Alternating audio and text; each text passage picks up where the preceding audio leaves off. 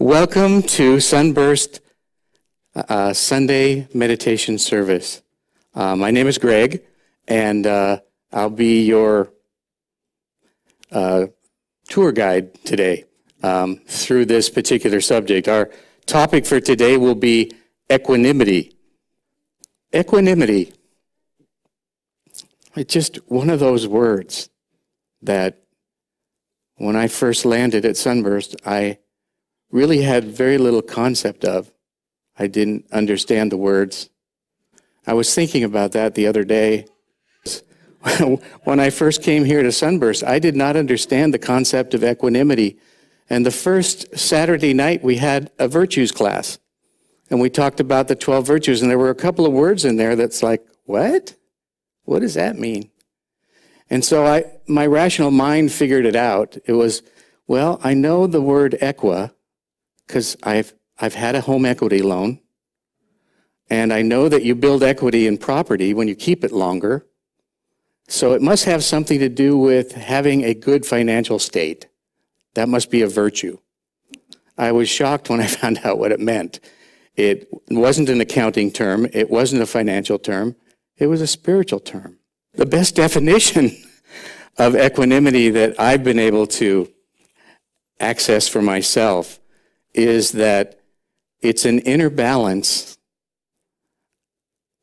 semicolon, a non reactive awareness. In other words, with equanimity, you know what's going on around you, but you're not being sucked into it.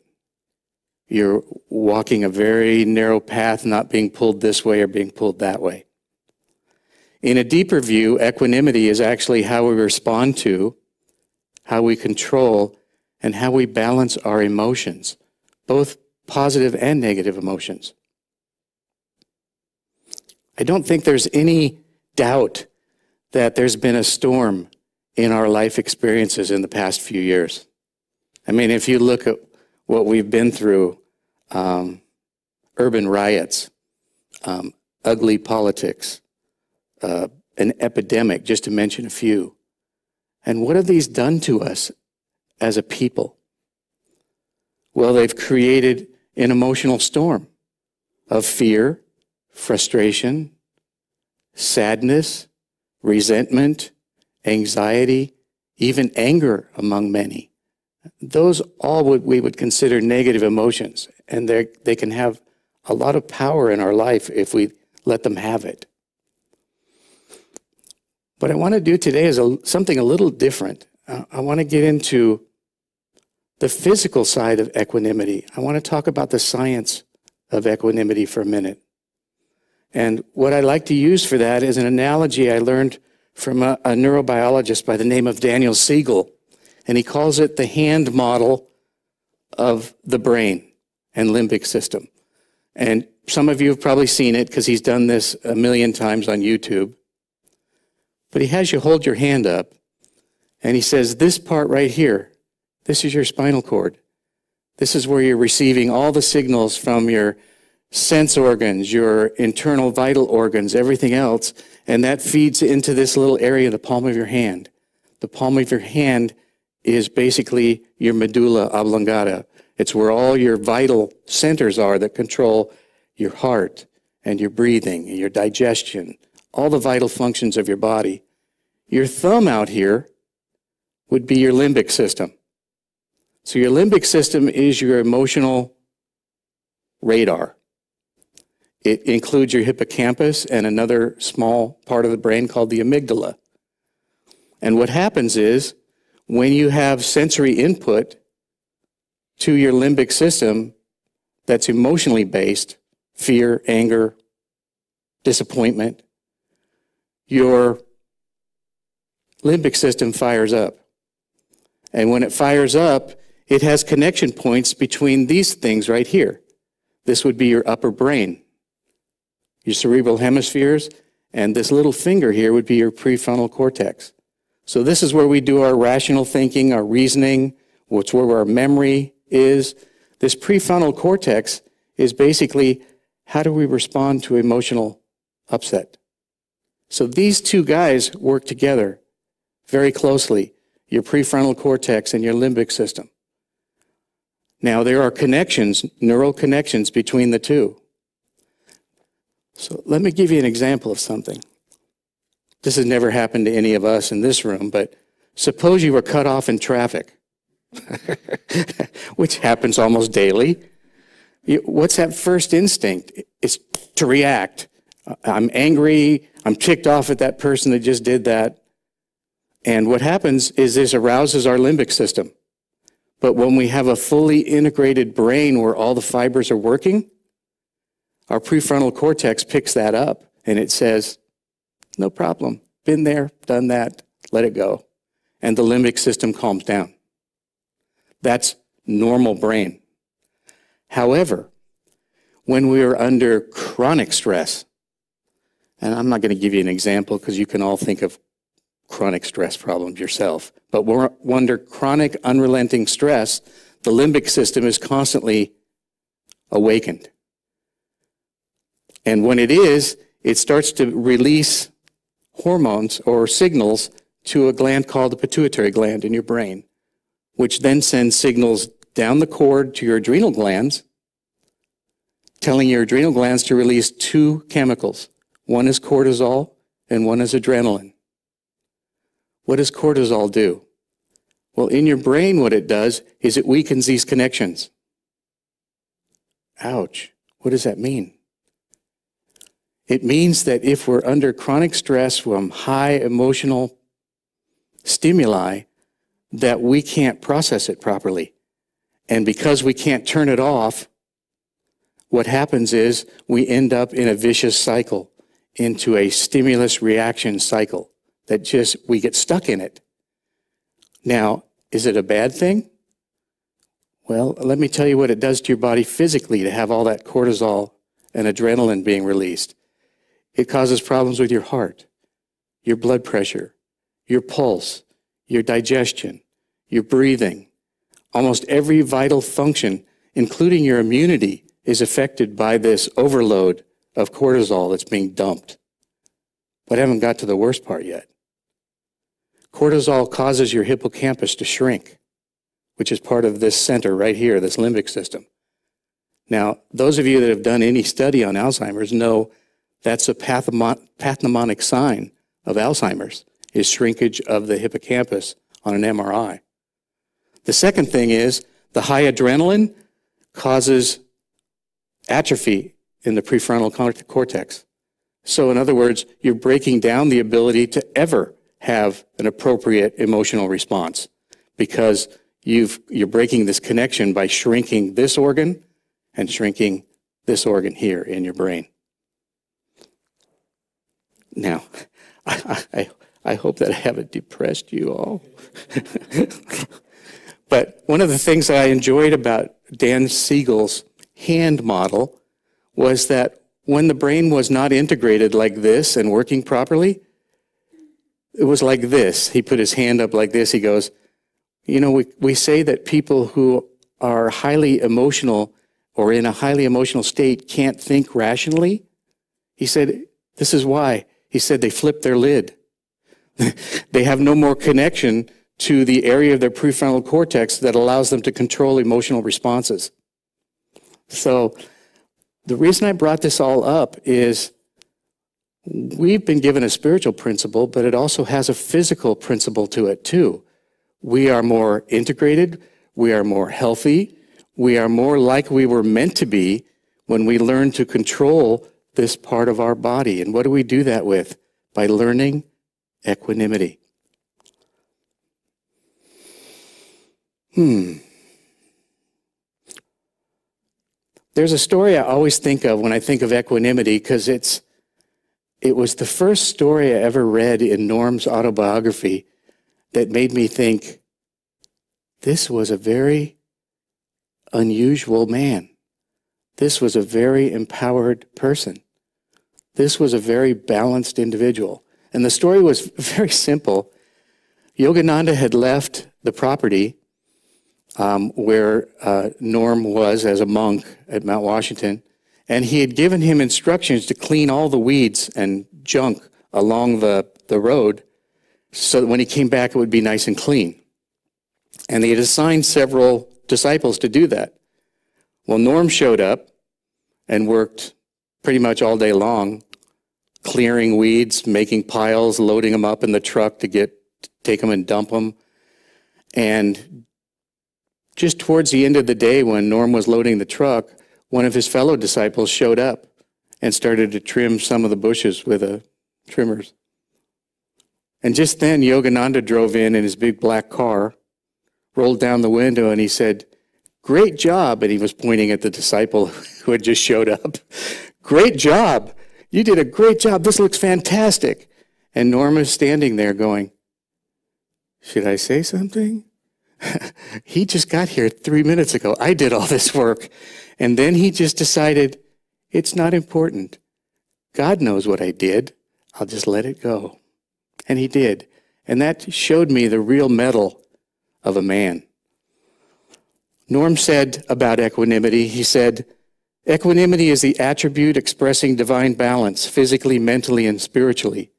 This might sound familiar, David. When you find this, David quoted this yesterday in a meeting that we had.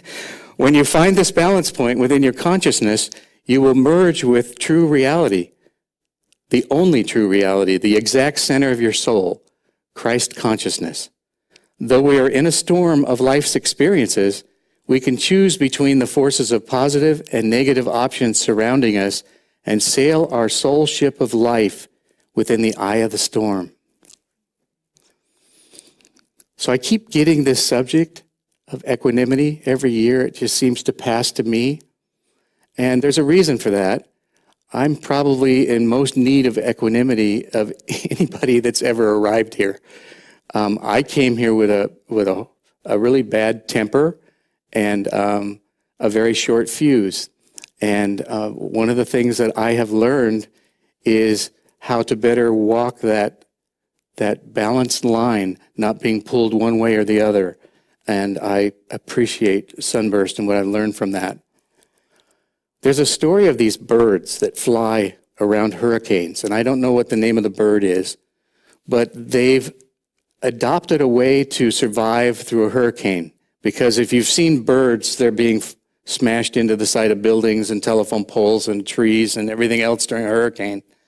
Well, these birds, instead of trying to fly out of the hurricane or fly against the wind, they fly with the wind.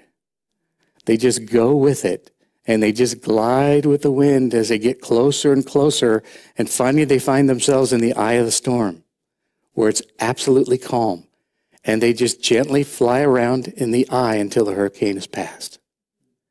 To me, that is a fantastic analogy for what equanimity can bring each of us.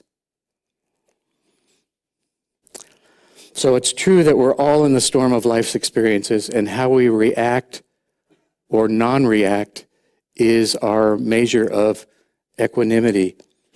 Um, Yogananda once said this he said, The most important condition for lasting happiness is even mindedness. That's another way of saying equanimity, calm. Remain ever calmly centered in the self within. As a child's sandcastle disintegrates before the invading waves, so does the restless mind, lacking strength of will and perseverance, succumb to the pounding it receives from the waves of changing circumstances. So, meditation is likely the greatest tool we have for developing equanimity. On a physical basis, we know from scientific studies that when we meditate, that our hippocampus enlarges and that our prefrontal cortex enlarges. What does that mean? It means that we can better integrate our emotions in a normal brain. All right? So, on a physical basis, that calmness is absolutely important. And meditation brings us that calmness. So,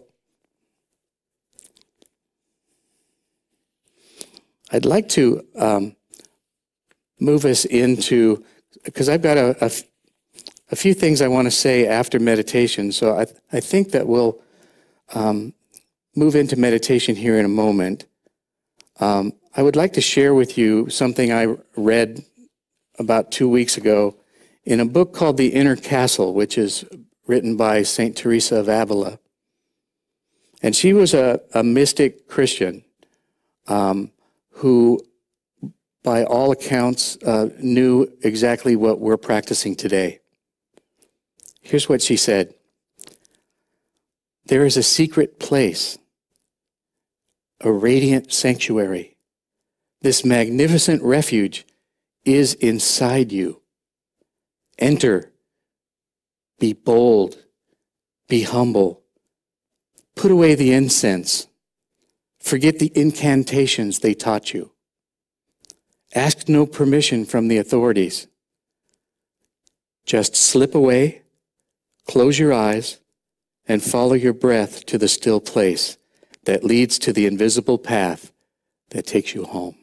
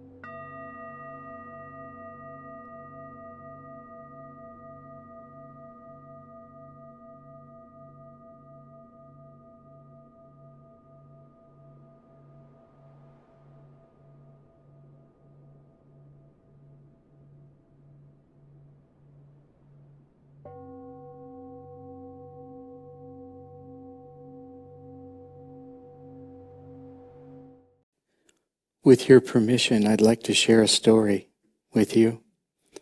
Um, it's uh, it's a story that well, it's a story about me, so I know the story very well. But the reason I'm telling the story is because it illustrates how one can go from being tormented by the winds of the hurricane, the storm, and find that calm center. So, this happened uh, a dozen years ago. I was on a flight from Colorado to uh, Phoenix, Arizona, where I was going to meet my connecting flight to Santa Barbara. And there were thunderstorms, um, as usual, going over the Rockies. And they had to fly around them, which delayed my plane. And uh, when I when we landed in Phoenix, I learned that as I was walking down the the walkway to go to my next gate, that my connecting flight had taken off without waiting for the connecting flights that had been delayed from the east. And um, to be perfectly frank, I was livid. It was a Sunday night, and I needed to be in my office at 9 a.m. the next morning. Um, we were sent to another part of the terminal, but where the airline had a, um, a help desk. And I got there, and there was a line of about 35 to 40 people. What was interesting about these people is they were all angry, like me. And they were yelling at the two young women who were trying to rebook their tickets and get, and I was getting more worked up by the minute. And I thought, I'm really going to lay into these women and I'm going to get home. That was my mindset. I finally reached the front of the line. This was after about a half hour, still seething. And the woman called me and asked for my ticket. She said, Mr. Anderson, I want you to go sit over there in the chair by the wall, and I'll call you up here when I'm ready for you. It's like, huh? Did you ever did you ever have an experience where you wanted to yell at somebody out of frustration and anger and that opportunity was taken away? That's what I felt like. Somebody just pulled the rug out from underneath me. So I was pretty mad, but I sat there in the chair and I began to watch those two women. And the one thing I realized is all the people in line were angry, and these two women were smiling and doing their best to try to keep people calm. And as I looked at that, I said, you know, they're just doing their job. Why, why was I going to yell at them? They're doing the best they can do to help all these people. And I don't know if you have a word for that, but the word I use for that is empathy. I began to feel what they must be feeling having all these angry people in front of them. And suddenly my rational mind kicked in and I started thinking, well, you know, this isn't so bad. Uh, if I can get a flight to LA or San Francisco or Sacramento or somewhere in between, I can rent a car and be home. I'll be at the office at nine o'clock. It's not going to be so bad. So suddenly, um, I found myself with my eyes closed, meditating and saying a prayer Dear God, get me home. Finally, I was brought out of that meditation by a voice that called my name, and I walked up to the counter. Gone was my anger and my frustration.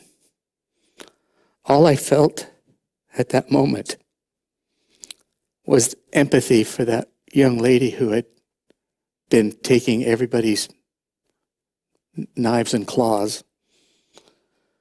And she said to me, You're Dr. Anderson, aren't you? I said, Yes. Well, you probably don't remember me. But my family, oh, excuse me, just it's just cough. you don't remember me, but my family and I saw you for years before we moved to Arizona. When I saw you in line, I automatically pulled a ticket for you on a later flight to Santa Barbara. And she handed me the ticket.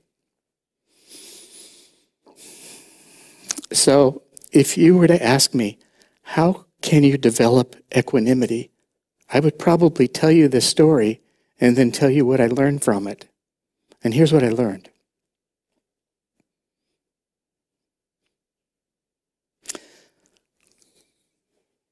There was a cartoon I once saw. And there's two mice. The, and they have each have their own wheel, and one is running frantically on the wheel, and you can see drips of sweat coming off the mouse. And the other one's lying back on the wheel like this with his arms behind his back. And the other one says, How come you're not running? He says, I had an epiphany. He got off the wheel. He was able to stop. And that would be the first thing I learned from this was if you're creating, excuse me, that's not the right word. If you are experiencing negative emotions, you're going to feel like you're being drawn into it. But there are ways that you can remove that negative emotion from you. So think about your own life. What could I do? Some of the things I thought of that have helped me in the last couple of years are reducing my internet time. I use the internet as a tool, not as entertainment. Um, getting off social media. I don't put anything on social media. I do look at Facebook and Instagram because I love pictures of pretty flowers, kitties, and fine dining. But that's about it. Um, you can turn off your television. You can stop listening to talk radio. You can stop watching the news.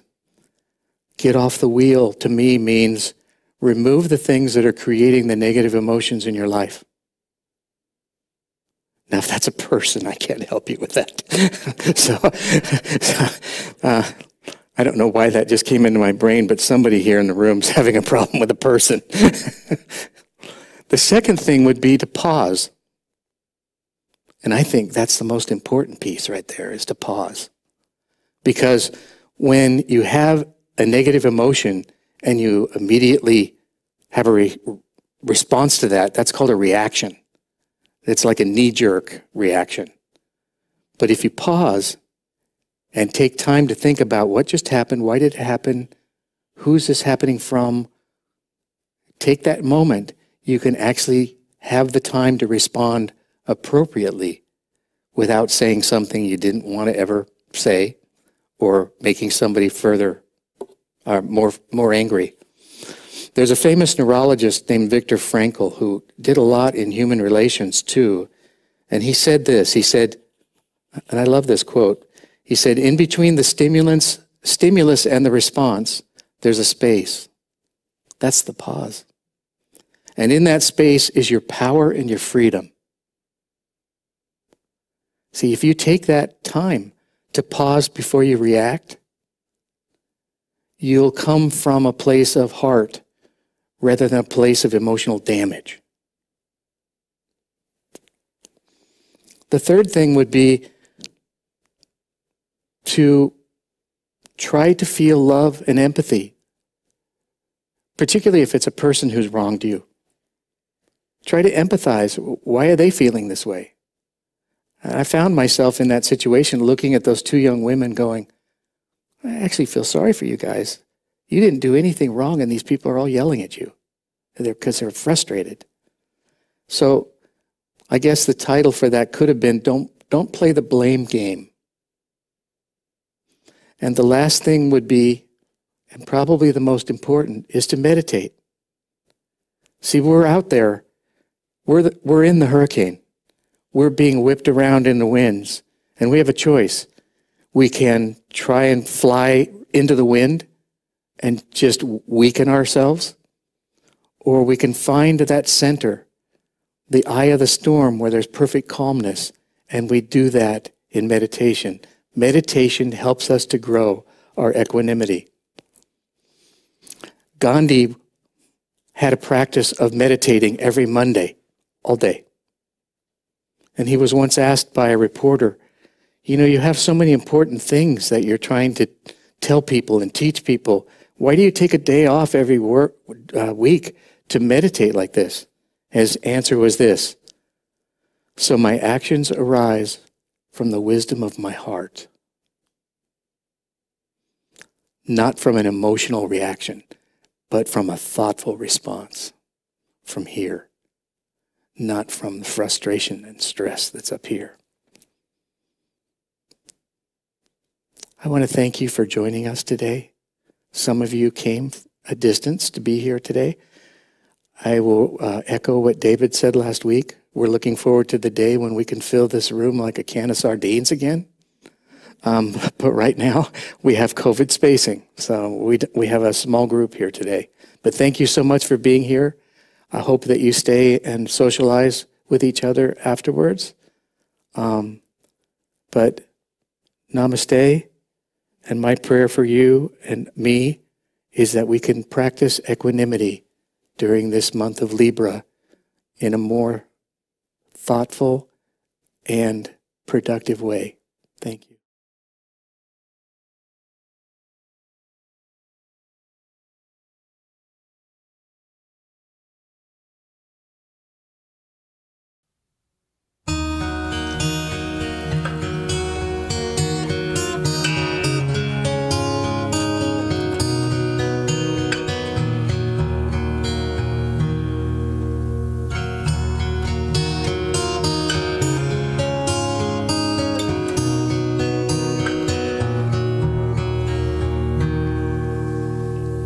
Space